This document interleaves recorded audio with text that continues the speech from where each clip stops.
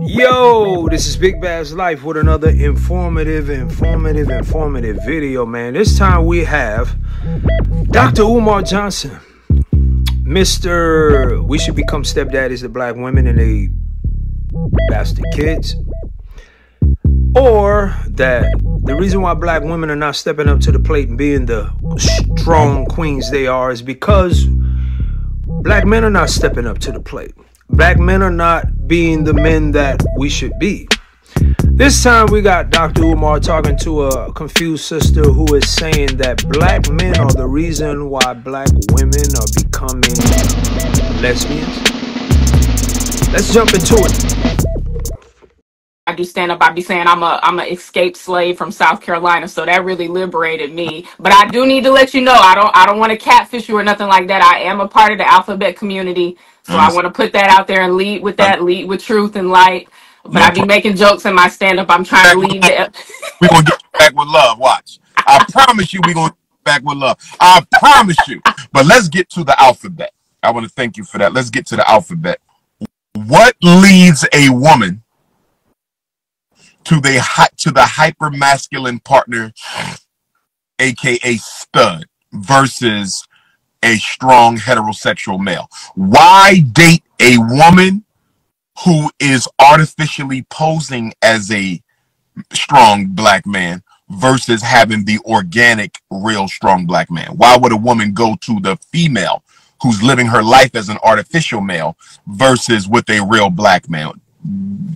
Help me understand the psychology of that. She goes past the brother to the woman who's living her life for the most part as a man. Uh huh.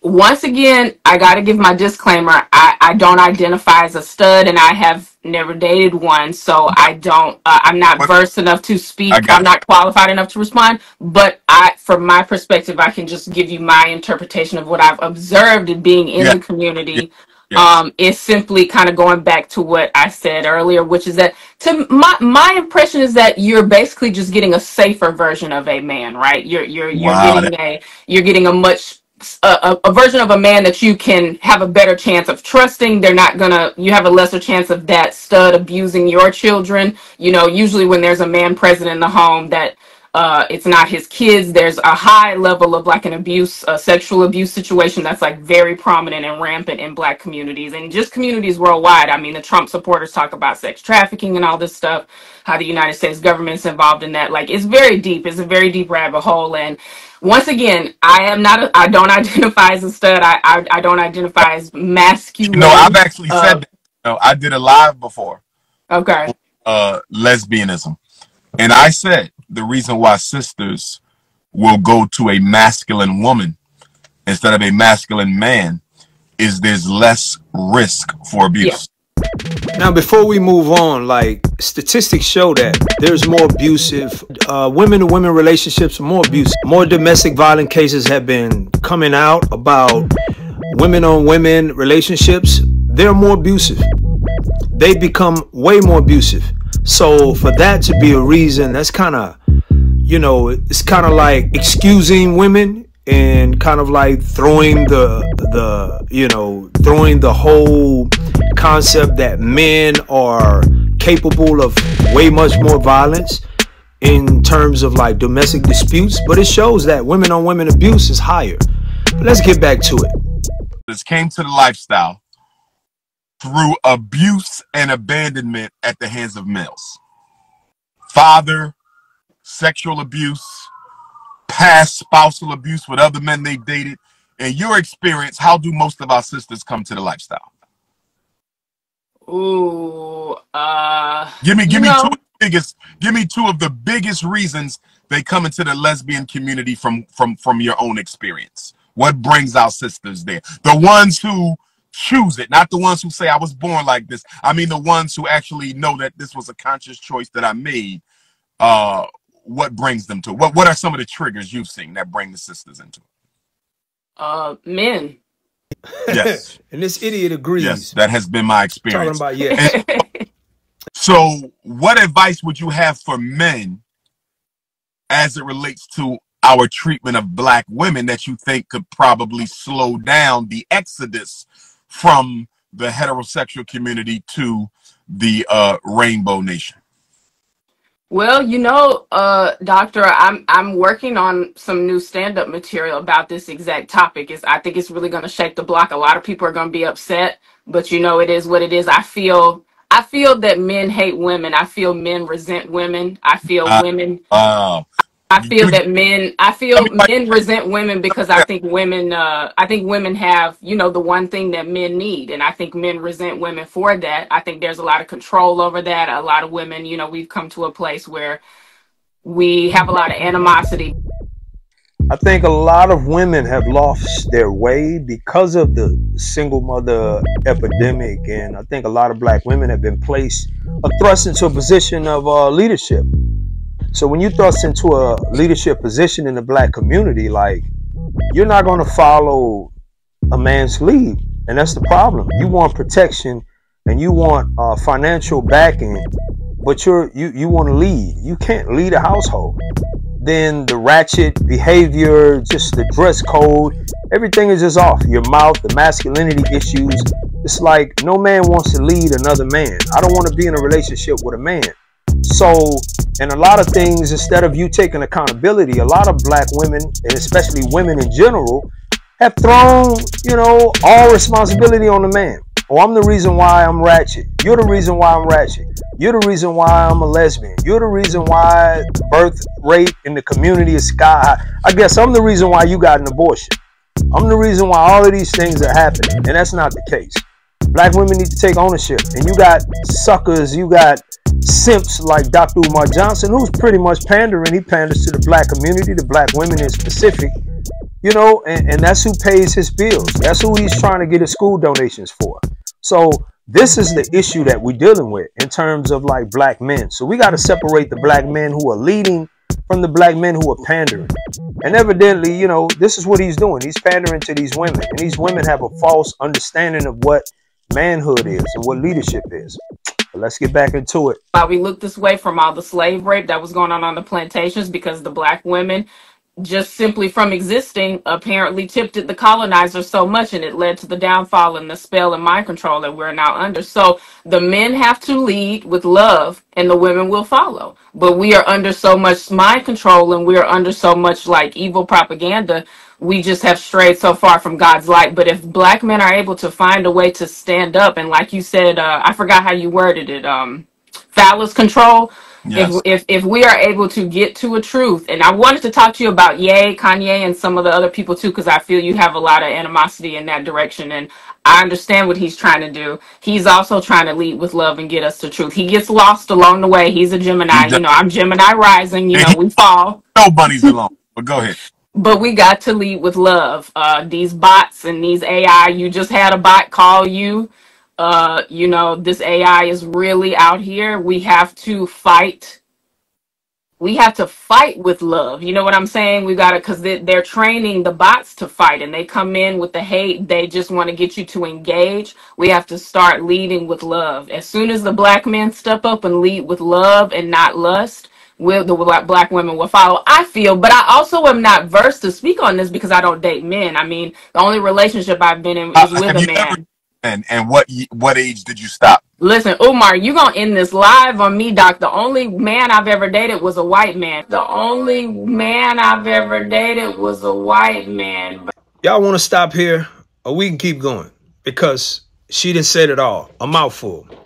She said the only man she ever dated was a white man. So therefore, her understanding of what a man is or what responsibility as a man is coming through the colonizer. Now, all of that stuff she talked about, about history and about us being graped and all this other stuff, it's it, you you could throw it out the window. Your only history and your only experience was that of a white man. S- You, you can't compare the two. You're outside. First of all, you're outside of your culture. And when you do experience it, you experience it with someone outside of your culture. But you're the same kind of women that want to exude and put all of these emphasis and raising the ball on black men. But when you experienced womanhood and experienced what it is to be a woman, you experienced it with a white guy. So who are you to get up here and talk to Dr. Umar And you see Dr. Umar's face, it never changed. It wasn't like, oh, I'm in the live, oh, snow bunny this, snow bunny that. He didn't retort any of that. Matter of fact, he goes to light on her.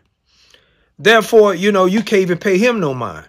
But yeah, these are the type of women that speak up and always got something to say about black men. But your existence of womanhood and experience the first time was with a white man. As you can see, she never dated a black man. You know, so how do you know what leadership looks like? And you never even crossed over the threshold.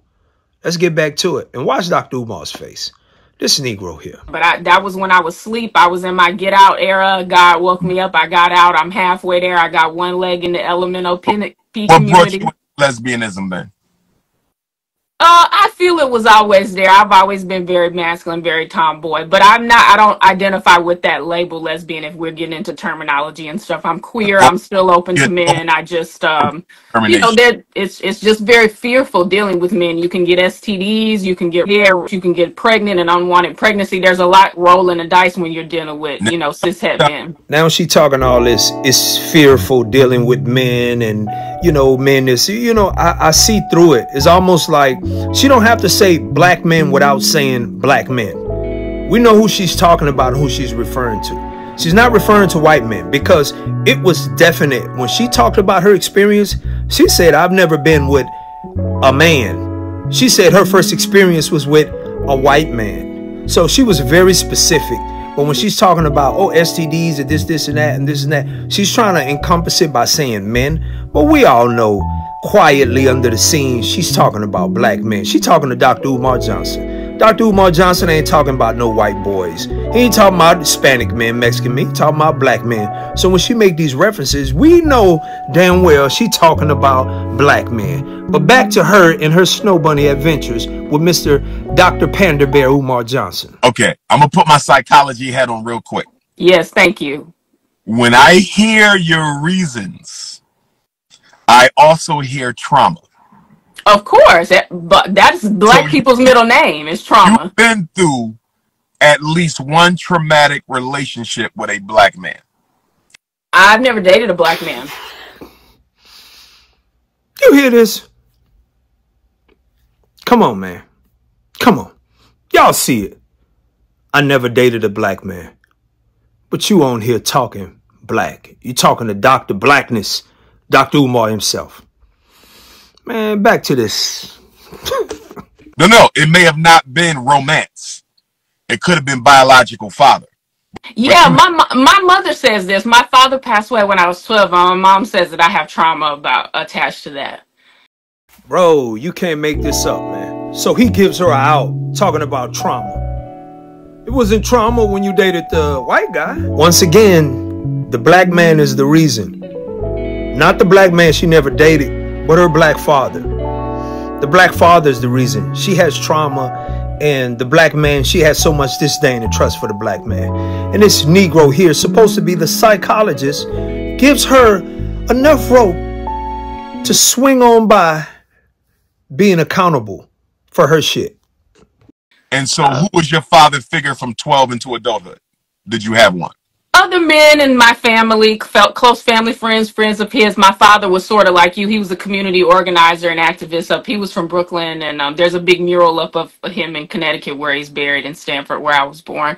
But um yeah there were men around but i you're you're not wrong. I'm agreeing with you. There has to be that figure in in the home present physically you're getting a much a, a, version of a man that you can have a better chance of trusting. They're not gonna, you have a lesser chance of that stud abusing your children. You know, usually when there's a man present in the home that uh, it's not his kids. There's a high level of like an abuse, a sexual abuse situation that's like very prominent and rampant in black communities and just communities worldwide. I mean, the Trump supporters talk about sex trafficking and all this stuff, how the United States government's involved in that. Like, it's very deep. It's a very deep rabbit hole. And once again, I am not. A, I don't identify as a stud. I I, I don't identify as masculine. No, I've actually uh, said that. You know, I did a live before. Okay.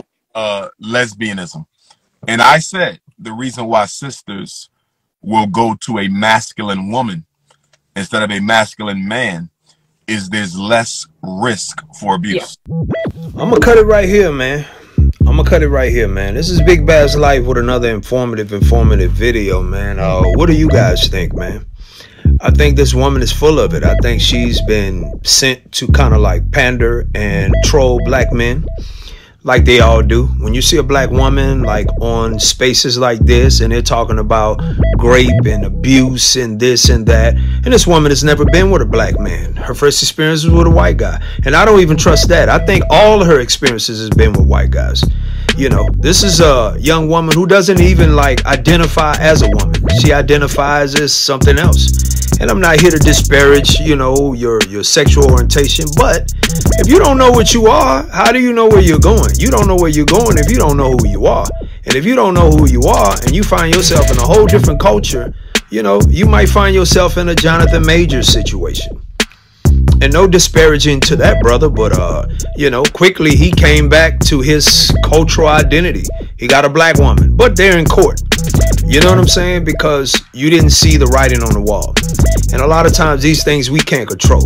But this is Big Bazz Life, man. What another informative, informative, informative video, man. Like, share, comment, man. Get back to it. I'm gonna try to get on camera more often, man. So y'all can, you know, in real time. You can see it in real time. But uh mm, punch that biggest regret. Punch the hell out of that subscribe button and that like button, man. Let's get to it. Alright. Spend more time. Fucking bitches. Bitch, she bad, got a lot more ass, nothing about me average. Nigga get mad and they act like you never had a motherfucking addict. Chasing these chickens, pop out, hit it, I'm gone, you drop out. On you, cock block. Got so many files, need to drop out. New Orleans, wet, wet, mop, mop. Dreadhead, bumper clock, top pop. Talk your shit, let her bop, bop. Fall asleep, call it beat, pop, pop. Dancing in the club with a drop top. Just like a fuck nigga, yap, yap. Pull up in the cut, hit a pop, pop. That's why I'm moving like Tupac.